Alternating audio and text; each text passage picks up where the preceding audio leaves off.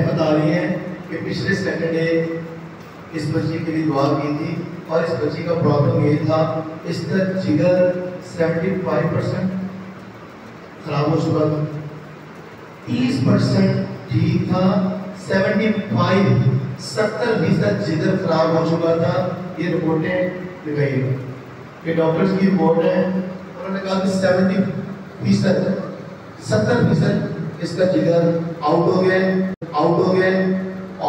ये रिपोर्ट है। उसके बाद पिछले सैटरडे ये दुआ दबा के गई थी यहाँ पर, इस तरह हाथ रख के दुआ की। और डॉक्टर के पास दोबारा गए कि तो डॉक्टर ने कहा, ये वो बच्ची नहीं है, ये दूसरी बच्ची है, इसकी तो रिपोर्ट बिल्कुल ठीक है, ये तो वो बच्ची नहीं अरे भैया ये जो सेवेंटी फाइव परसेंट जिगर खत्म हो गया था, और एक उसके बाद तीन दिन के